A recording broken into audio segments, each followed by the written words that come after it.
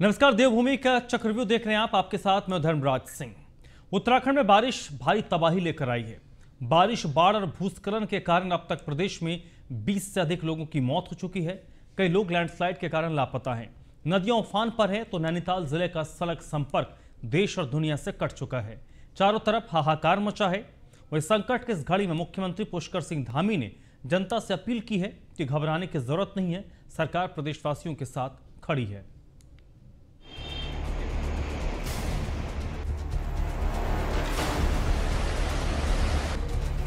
उत्तराखंड में मूसलाधार बारिश से हालात बहुत खराब हैं। बाढ़ और भूस्खलन से राज्य भर में अब तक 20 से अधिक लोगों की मौत हो गई। कई स्थानों का मुख्य धारा से संपर्क कट गया है। राज्य भर में आपदा की स्थिति को देखते हुए मुख्यमंत्री पुष्कर सिंह धामी अलर्ट के मूड में है। मुख्यमंत्री ने सुबह आपदा कंट्रोल रूम पहुंचकर अधिकारियों के साथ बैठक की और उसके बाद आपदाग्रस्त इलाके का हवाई सर्वेक्षण किया। मुख्यमंत्री ने रेस्क्यू ऑपरेशन के सेना और वायुसेना भी बुला ली।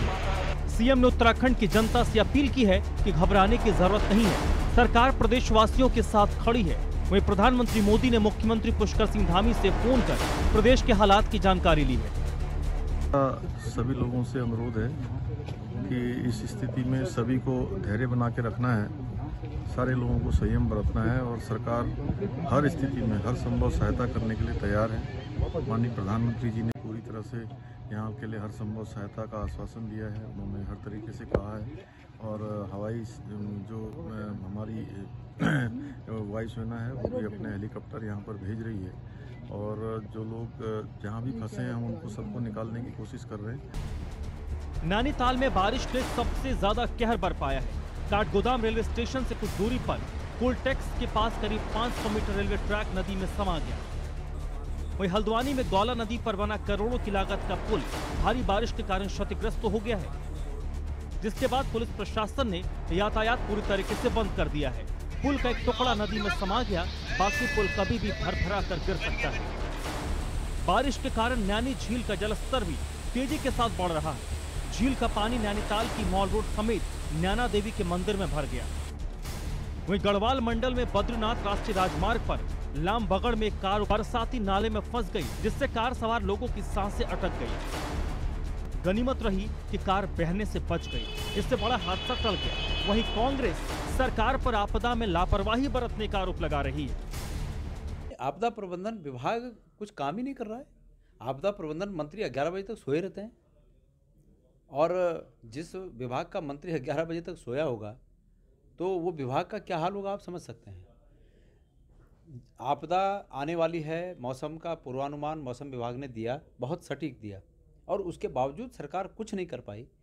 अब उसके बाद जब घटना घट गई, उसके बाद हेलीकॉप्टर उड़ाना, ये तो सैर पे गए हुए हैं। प्रदेश में मौसम विभाग की चेतावनी सटीक साबित हुई और भारी बारिश ने उत्तराखंड में जान माल का बड़ा नुकसान पहुँचाया है। हालाँकि सरकार भी फ्रंट फुट पर है तो मुख्यमंत्री पुष्कर सिंह धामी खुद मोर्चा संभाले हुए हैं। हालाँकि विपक्ष को सरकार के एरियल सर्वे हवाई सर्वे और सैर नज़र आते हैं।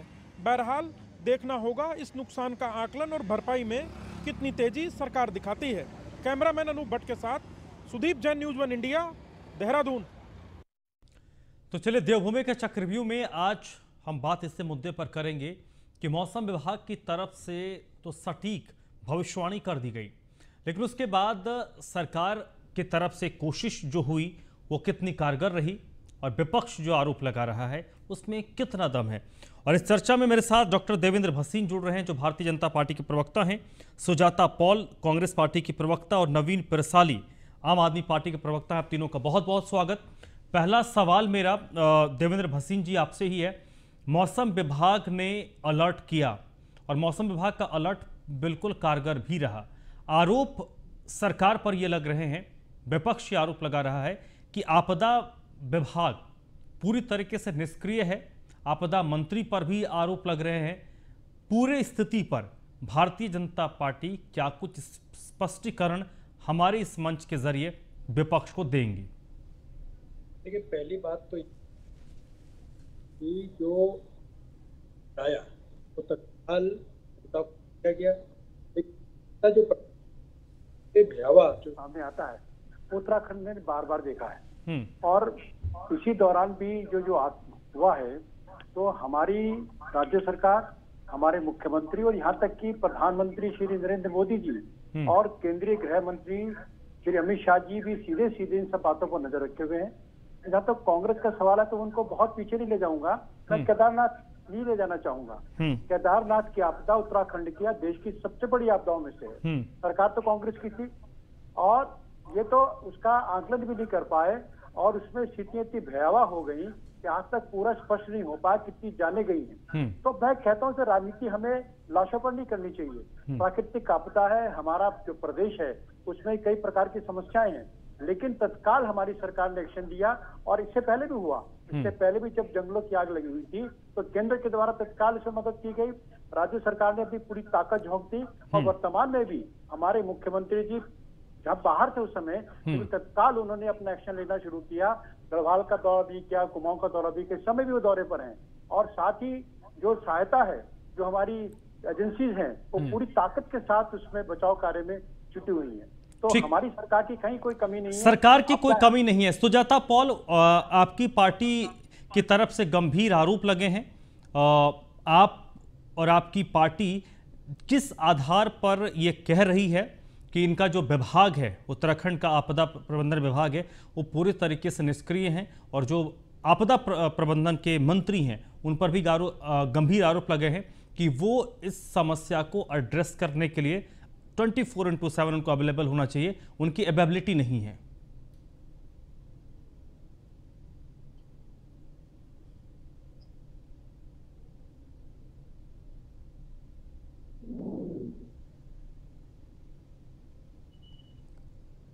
सुजाता जी, आपको मेरी आवाज़ आ रही है?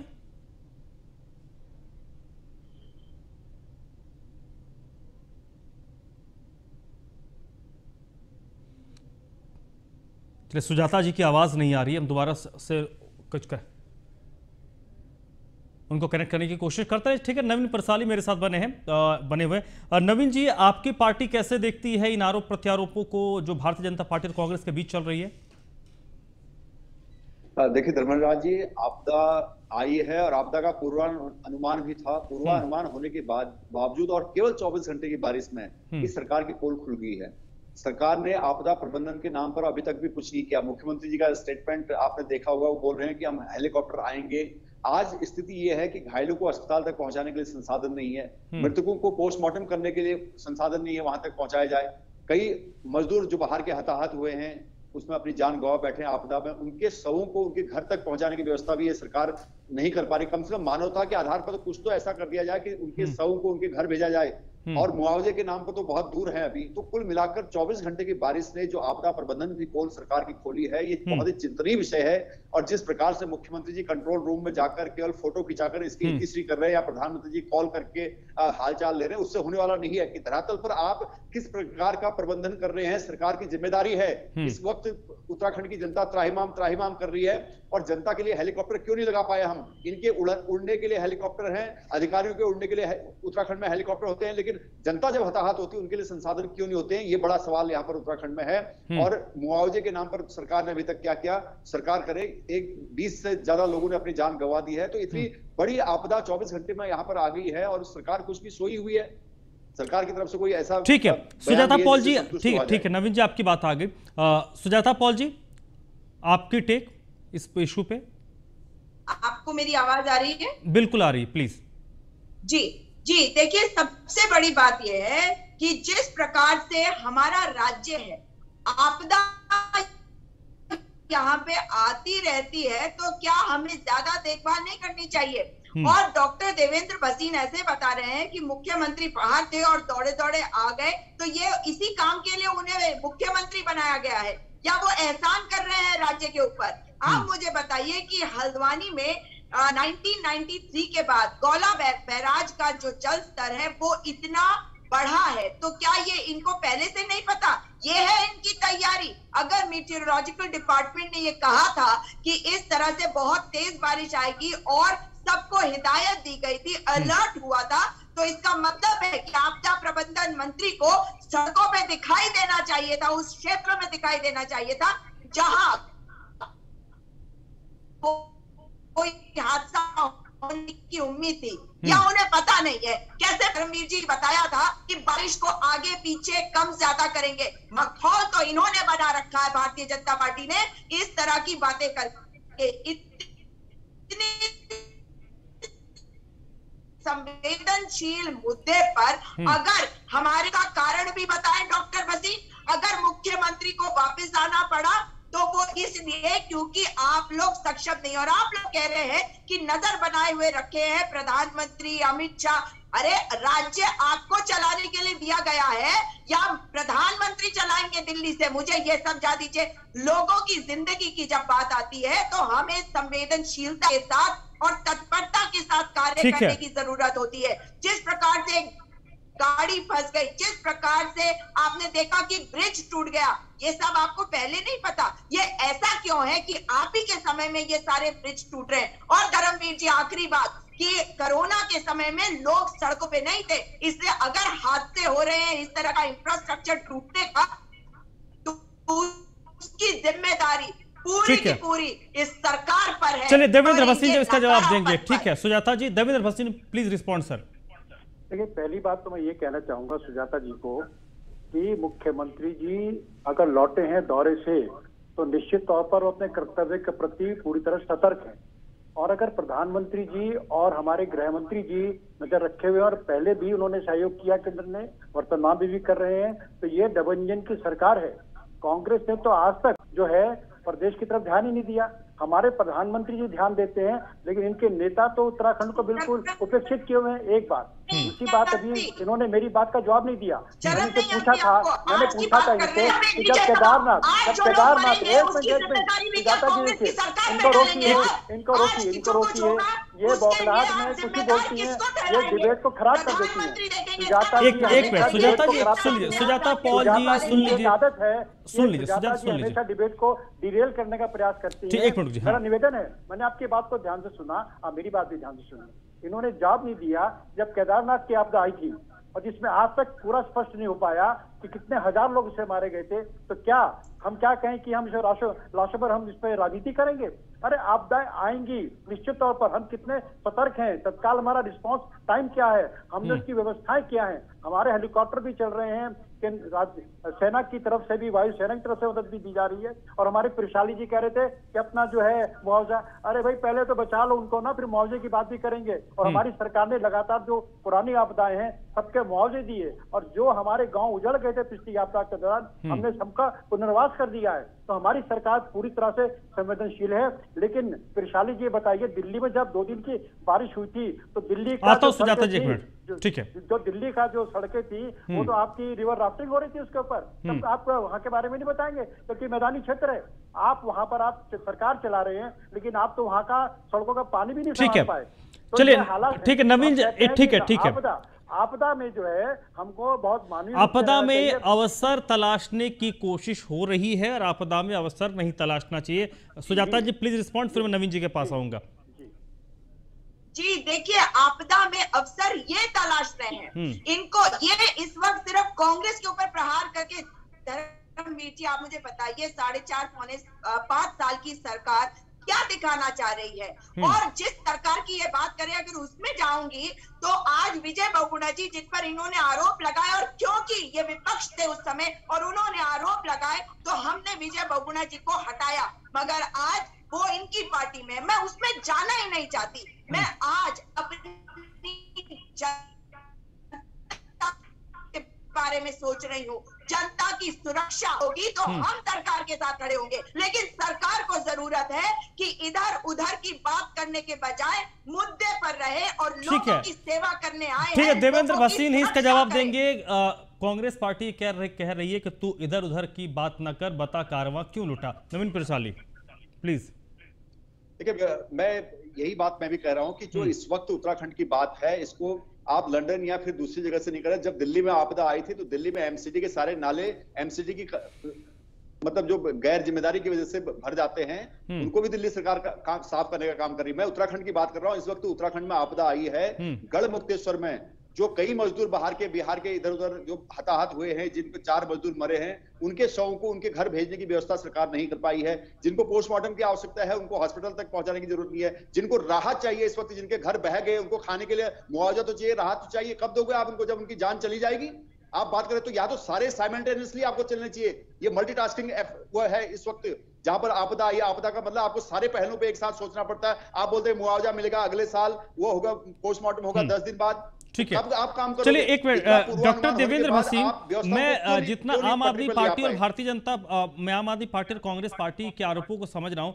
आप मुझे न्यूज़ वन इंडिया के इस प्लेटफॉर्म के ज़रिए इतनी बड़ी आपदा की स्थिति में राज्य का आपदा प्रबंधन विभाग क्या कुछ काम कर रहा है और आपदा मंत्री किस तरीके से इस प्रॉब्लम को एड्रेस कर रहे हैं? सरकार सामूहिक सरकार है।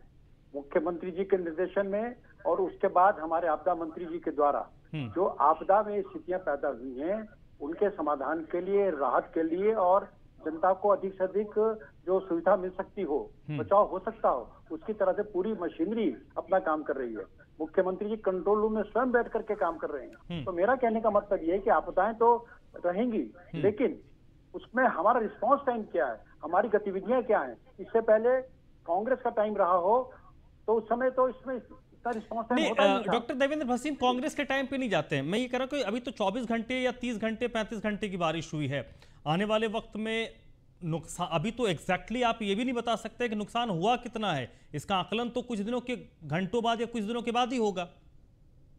जो आपदा का स्वरूप होता है घर बैठ करके या इसी कमरे में बैठ करके हम जो मर्ज़ी बयानबाजी करें हम्म। जो फ़ील्ड की जो सच्चाई होती है जो कठिनाई होती है वो वही व्यक्ति समझ सकता है जो फ़ील्ड में उतरा हुआ हो। हम्म। इस समय हमारे मुख्यमंत्री जी हमारी पूरी सरकार की मशीनरी इस काम में लगी हुई है और जो हमारे प्रधानमंत्री जी या गृह मंत्री जी सहयोग करने की बात कर रहे हैं हम्म। तो ये हमको मानना चाहिए कि उनकी संवेदनशीलता है। केंद्र सरकार भी इस पूरी तरह से इसके बारे में लेकर के सतर्क है और पूरी मदद कर रही है। तो ये तो अपने विपक्ष से भी एक सवाल है। विपक्ष से भी एक सवाल है सुजाता पॉल जी।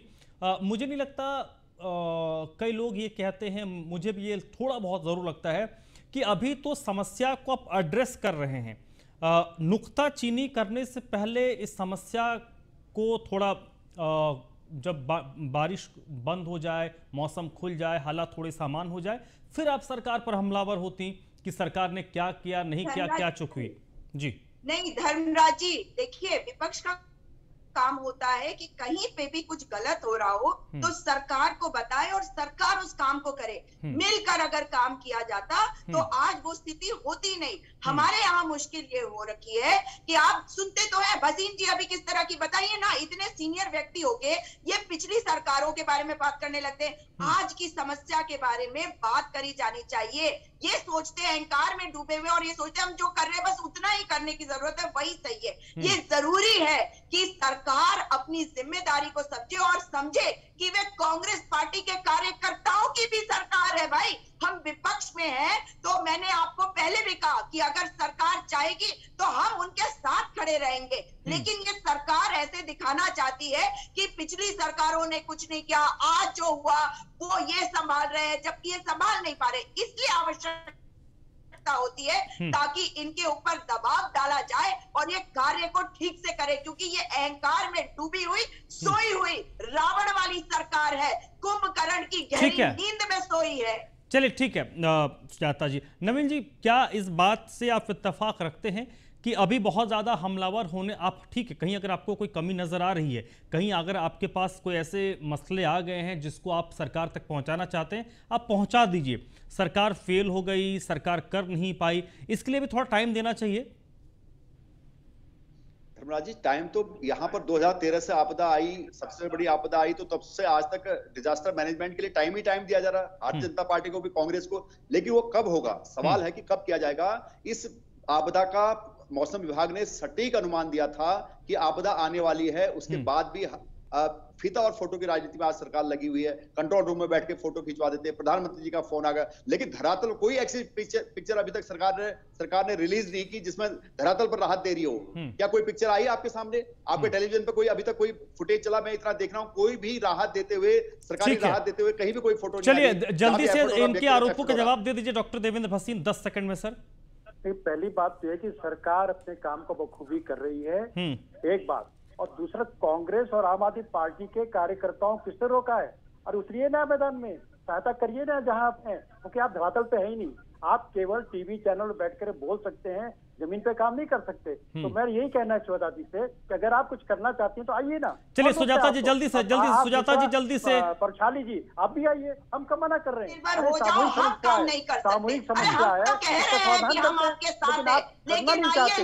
आप केवल आरोप लगाना चाहते ये कह रही हूँ को मैं निर्देशित कर नींद दिया से कि आपदा जागिए। से रोका पीड़ितों की हर संभव सहायता चलिए ठीक है वक्त खत्म हो गया। आपदा का वक्त है और आपदा में सरकार भी काम करे, सरकार को विपक्ष भी समर्थन करे। और आप सत्ता पक्ष में हो, विपक्ष में हो, आप सब की लाइबिलिटी जनता के प्रति है तो कोशिश ये होनी चाहिए कि हर तरीके से लोगों को, अगर आपसे एक आदमी को ही मदद बन पाती है तो आपको एक आदमी की ही मदद करनी चाहिए। अगर कोई दस लोगों की मदद कर सकता है, कोई सौ लोगों की कर सकता है, कोई हज़ार की कर सकता है, कोई लाख की कर सकता है उसको अपने अपने हिसाब से ज़रूर मदद करनी चाहिए।